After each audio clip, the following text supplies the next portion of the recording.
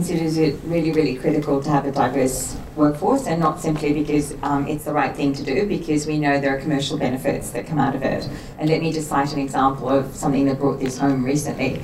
Uh, some of you may know Juliet Bourke. She's actually a partner at Deloitte um, and has written an amazing book called Which Two Heads Are Better Than One, which is actually a bestseller in business terms uh, and launched last year.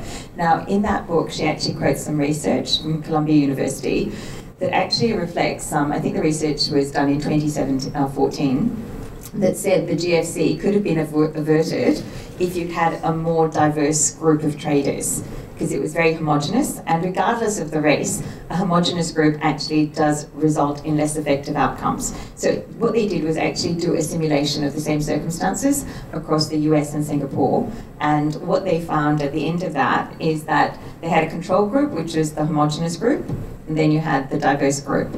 And the diverse group had um, a 30% increase in pricing accuracy on the trading floor than the homogenous group. And what they drew from that in terms of why the drivers of that is that when you actually have a culturally diverse group, they actually challenge the thinking of the rest of the group. So you don't have that kind of group think. Also, it brings a kind of diversity in terms of experience. And so that consolidated view is much better than the mono-ethnic view. So that's one example of why we know it's commercially viable. Equality, especially in our leadership ranks. I'm delighted to announce that at this point in time, we're 49.9% in terms of our women in leadership, which is amazing. We've got till the end of next month to actually land at the 50%, very aspirational figure that Gail set many, many years ago, which at the time we were all just thinking, no way is this going to happen.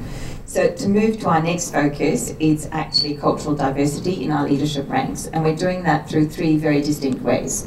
So one of the ways we're actually trialling is, and again I won't bore you with the research, but we know that there is cultural bias in the assessment of resumes and CVs that come through.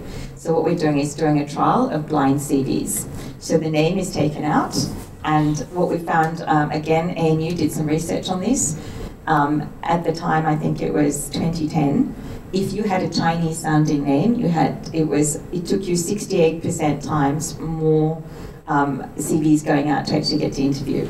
If you had a Middle Eastern sounding name, at that point in time, it was 64% more that you had to actually put your CV out versus the, the hallmark, which is the Anglo-Saxon. So knowing that, we're actually trialing this to make sure that we kind of remove some of the unconscious bias that happens in that space. The other thing is we're starting to track you know, baseline the proportion of leaders that we consider at a certain level. The trick here is people don't actually identify on our people systems as having a culturally diverse background, so we're trying to navigate um, the difficulty with that. But it's a primary focus, and we've got multiple strategies that we're actually putting in place to address that as the next big focus. Leadership by 2020. And so we look at the top three levels of our organisation in terms of that representation.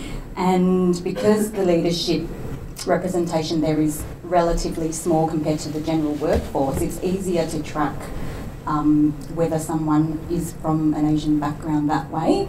Um, because we have so few Asian leaders there, we do know who they are, and so we are quite um, confident that we have that piece of data accurate.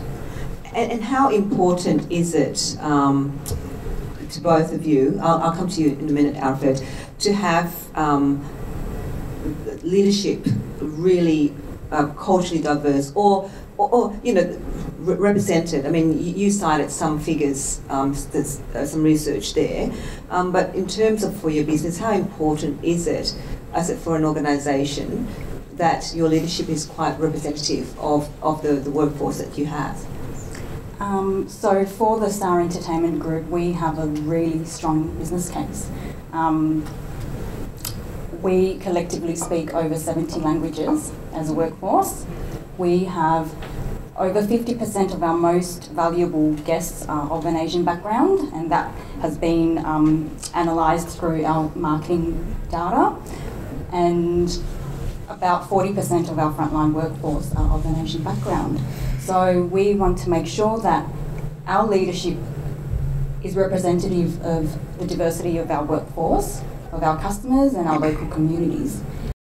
for our employees to have role models in those positions because that's what garners, you know, you can see somebody who looks like you, sounds like you, that is actually at those tables, you know, having those discussions with those people. So it's quite critical and it's the next big bastion that we have to actually tackle important to have um, a culturally diverse team because uh, as, a, as a global company launching into different sectors, especially manufacturing goods in Asia, uh, I think it's really important to have someone who understands the culture.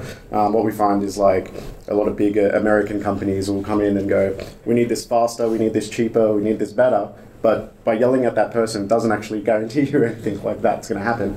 Um, so like we found by understanding their culture, by having uh, you know a lot of Asian employees ourselves, um, that you know treating them nicely and you know taking them out to dinner and then you know going through the respect chains um, actually gets you the better results with your company um, than you would have. So if you had two teams and you had um, one um, that was culturally diverse but exactly the same skills as one that was everyone that was the same culture, I would always go for the one that was more diverse uh, because you can build a more globalized um, company and more globalized product as a startup, and it does give you some edge.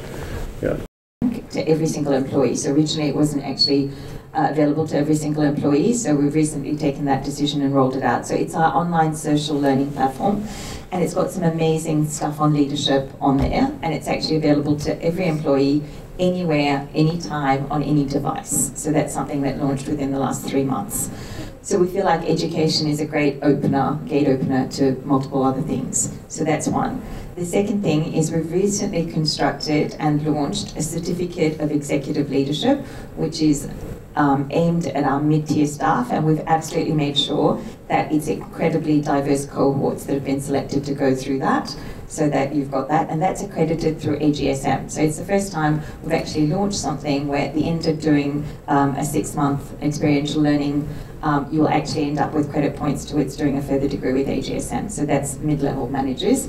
And finally, we've actually launched something called Motivate, which I'm hoping some of you would have heard about. It's our new reward and performance system, but much more crucially in there is we actually embed in there conversations about career with your people leader.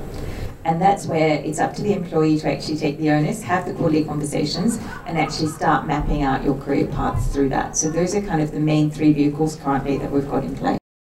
Are we from seeing a cultural diverse CEO at a major organisation rather than an American expat being flown in? Well, I really can't answer that. Um, basically, I think that we have a long way to go, so that's clearly an agreement. I think signing this blueprint is just an indicator that we're on the start of this journey. I think the next thing is to actually, as an organisation, agree whether we're going to actually put a target aspirational figure out there. And I think that's the next bold step about whether we actually bite the bullet and say, we want to do X percent like you guys have done. We're actually not at that point yet. Fire them. Uh, I do think that we're a long way off obviously it's good that we're starting to have these conversations, but I do realistically think we're a very long way off. Um, and given that gender equality issues are often given a lot more airtime, um, and we're not even there yet in terms of that gender balance in leadership, I do think realistically there's a lot more work to do. So I'm starting a program where we've actually recognised we've got a lack of capability in the STEM disciplines, so science, technology, engineering and maths the businesses are crying out for it. So I've come up with a kind of innovative way of trying to get some STEM um, talent in. So I've gone to the group of eight universities, so the eight top national sandstone universities, for want of a better term, across the country, and I've asked them for PhD students that are currently willing to actually go part-time and work at Westpac three days a week whilst they complete their PhD studies. And it's quite a lucrative gig for them because they get paid quite well. Um, and when they gave me their list, they were 80% of it were, were male. And I had to go back to them and say, I'm not accepting any of this. I need you to go back and find me a gender balanced talent pool that I can then interview. So it's just starting at that point and pushing back every single time. So we used to do that for um, gender, now I'm doing it for cultural diversity. So that's the next step. So as I said, I think gender has been the forerunner for everything that we're trying to do. We at Westpac now feel we've kind of got a really good handle on that. And whilst we're not going to take our eye off the ball, it's about maintaining that now. So the focus is now having a fulcrum shift into cultural diversity. I have a good fit with each of the team members, like to a point where you're you're kind of friends, but you're not really friends, but you're kind of friends. You know what I mean? Like, so you can tell them, yeah, you're gonna have to work back late tonight, not feel bad about it, but you can still get beers on Friday with them, right? Um, so, yeah, I think I think it's dangerous territory to say um, I'm going to build a culturally diverse team and then set out to do that. I think you should find the best people for the job regardless of their race, right, or their their fit, right, and then at that point you'll actually see that um, all of those people start to have similar mentalities when you build the team together. That's what that's how we found. We had a uh, culture, we have a culturally diverse team, not because we set out to build one, um, because we just found the best people for the job and like-minded people, and it just kind of happened that way.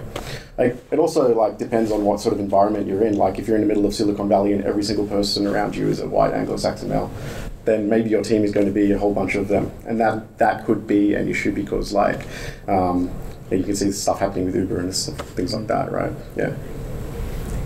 I was just going to say that wouldn't necessarily work at Westpac, where we have to actually make a conscious effort to identify that there is unconscious bias and people are going to hire not quite their buddies, but you know, like-minded people. So we've got to actually have something that creates a nexus for us to actually just, you know, change the playing field a little bit and then get to that point. Diversity of thought. I don't think that cultural fit is necessarily helpful we have a culturally diverse um, female GM on that IT team as well, the G- at GM level. And um, unfortunately, though, the representation of diversity, cultural diversity, and also with women in the broader IT space is um, not great. They're having trouble attracting and recruiting more females, but they would like to do better with that. Um, we are very culturally diverse with our IT team, however, we're not seeing that those numbers translating into our leadership. I would say leadership support and the HR support as well, which primarily lacked in India when I was working in the IT sector. But here I'm more keen to see how Westpac functions. Being new to Australia, that's one thing I'm looking out for because I definitely want to search ahead in the leadership roles as well. Well, there you go, Sandra. I was going to say we have so much opportunity. we have to connect. yes, because we've got all these amazing policies. It's about your people leader knowing what it is and utilising them, and you actually doing some research on the internet as well and finding out what's there. Mm. Okay, so a large organisation brings uh, a great deal of benefit, but it also poses some challenges. So I guess it's harnessing the benefit. So one thing about large organisations, especially like Westpac, is the fact that it's very, very much relationship based. So that's the first thing to understand in terms of system. So what you need to do is actually um, make sure you have a really good broad network of people, and so that takes you out of your comfort zone. You've got to cold call people, have coffees. Um, but what we'll throw up there is actually a number of opportunities. So when you're in an organisation the size of Westpac, the career opportunities are incredible. So it's about being able to tap into those opportunities and also having your own plan for where you want to land and not just leaving it to Big Brother to actually determine what your fate is going to be. So especially under the new Motivate system, there's an opportunity for you to actually career plan, create goals on a quarterly basis and actually get in front of your people leader if you're not having it and say, Where's my quarterly conversation? It's not in the diary. I need to have it. That's number one. Number two is be very, very open to opportunities that come your way. So even if you weren't expecting something and it lands, you should assess it and then grab it if you think it might be a good fit. It's fairly dismal and depressing. You just look at the US and see the worst kind of leadership out there. And it is also reflected as well in our own Australian system, like with Malcolm Turnbull as Prime Minister, showing a lack of leadership despite the potential that we all and the I guess the high hopes that we had of him, and similarly like in the corporate sector, like for example the recent retirement of Ian Narev at uh, the Commonwealth Bank. So today we've been talking about processes to support leadership, but do you think now is a good time to reassess what is leadership, what qualities should be found in leadership for this new 21st century world? Yes, that's very much top of mind. So what we've done is actually built a strategy on what we think the workforce of 2025 is actually going to look like, and it actually went to board in June. And in that, it totally transforms what a leader of 2025 will look like. So it's more um, about the servant leadership model. It's nothing to do with hierarchy. It's about the right skills. It's about the right ethics and the principles that underpin it. Um, so what we have to do is now build programs of work and initiatives to actually move our people from their current concept of what traditional leadership might look like to actually this trust and empowered base. And it's a very big challenge.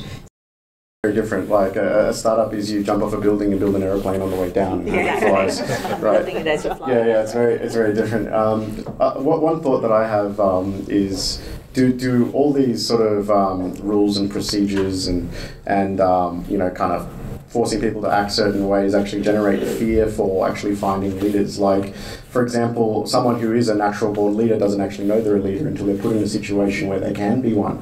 Um, do, do your um, entities create like ways that someone can, um, you know, shine above others in a low risk way, like without losing, you know, losing their job or something, or taking a high risk, you know, in a bank. I'm sure things can go wrong very quickly.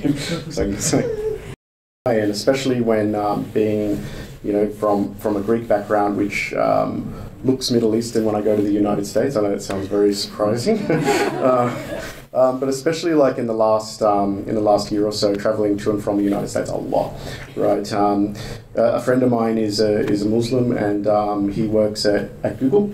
Um, he's a very, very smart guy. And I remember last time we were in the States, we went to the Google headquarters over in Silicon Valley and we were taking some selfies and stuff next to the, um, next to the Google signs. And the security guard came up to us and asked us to leave. And we were like, okay, why? And he pretty much said it because we were like scoping out the place because we thought we were about terrorists.